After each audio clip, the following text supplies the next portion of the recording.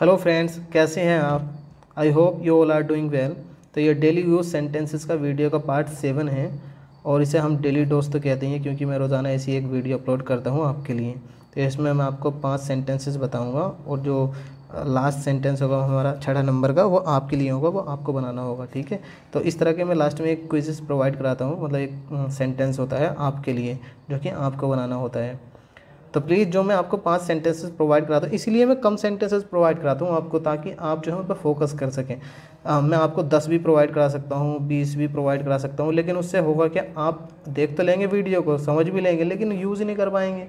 तो इसीलिए थोड़ा बट इफ़ेक्टिव ताकि आप समझ पाएँ उसे ताकि आप उसे यूज़ कर पाएँ।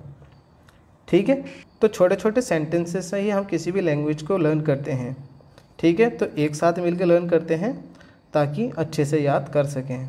तो फिर वीडियो को स्टार्ट करते हैं। तो हमारा जो पहला सेंटेंस है, वो है, ना उधार लो, ना दो। आपने देखा होगा कि इस तरह का हम सेंटेंस बहुत ज़्यादा यूज़ करते हैं। अपने अपने मतलब मोस्टली जो है दुकानदार यूज़ करते हैं इस सेंटेंस को, ना उधार लो, ना दो। तो हम इसे कैसे बनाएँगे? कैसे इसे जो है इंग्लिश में बोलेंगे? बहुत ही ईजी है। ठीक है, और आज से आपको न उधार लो न दो, ये यूज़ करने की ज़रूरत नहीं है, जो मैं बताता हूँ आप उसे यूज़ करना। तो इसे हम बनाएँगे। Neither borrow, nor lend. Neither borrow, nor lend. न उधार लो, न दो। ये था हमारा पहला sentence.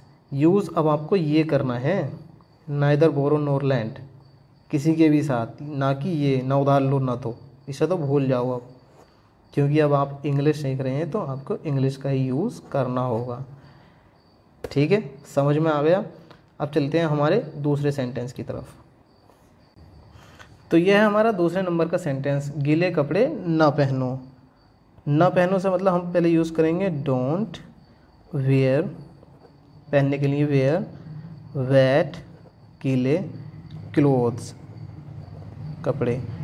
Don't wear wet clothes ये होता है गीले कपड़ों के लिए वेयर मीन्स पहनना क्लोथ्स मीन्स कपड़े। तो डोंट वेयर वेट क्लोथ्स गीले कपड़े ना पहनो अब चलते हैं हम अपने तीसरे सेंटेंस की तरफ़।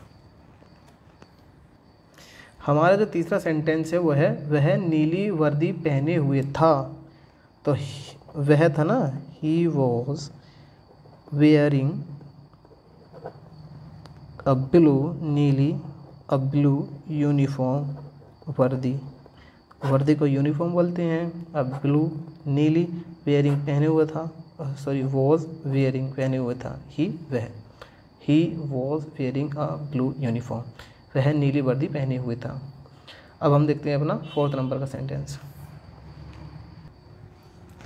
हमारा जो चौथे नंबर का सेंटेंस है, वो ये है, ये कोट पानी से नहीं भीगता। तो यह coat it is a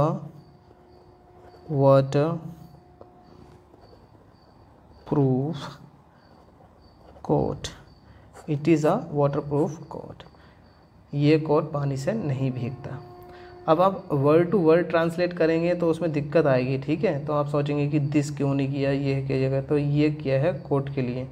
मतलब जो है ये इसे बोलते हैं हम नॉन लिविंग थिंग उसके लिए इट का यूज़ किया है। It is a waterproof coat ये कोट पानी से नहीं भीगता।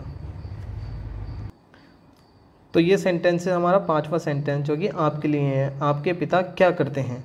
अब आप बनाएँगे इसे। मुझे कमेंट सेक्शन में बताएँगे कि आप इसे कैसे बनाएँगे। आपके पिता क्या करते हैं? ठीक है, कोशिश करनी है। ट्राई आपको करते रहना है। आप गलत बनाएँ, सही बनाएँ, कोई नहीं देख रहा कि आप कौन है, कहाँ से हैं। और किसने ये सेंटेंस बनाया? बट आप जानते हैं कि हाँ मैंने सही बनाया या गलत बनाया। जब आप बनाएँगे तो कोई और भी बनाएगा, फिर वो आपको करेक्ट करेगा। हो सकता है कि इस तरह से आप जो है ये पूरा प्रोसेस हो जाता है किसी भी लैंग्वेज को सीखने का। मतलब एक दूसरे से करेक्शन करना। जब आपको करेक्ट करने लगते हैं लोग तो समझ लेना कि हाँ आपकी प्रोग्रेस हो रही है। ठीक है? तो आज की वीडियो यहीं तक थी। मिलते हैं फिर अपनी नेक्स्ट वीडियो में। तब तक के लिए गुड बाय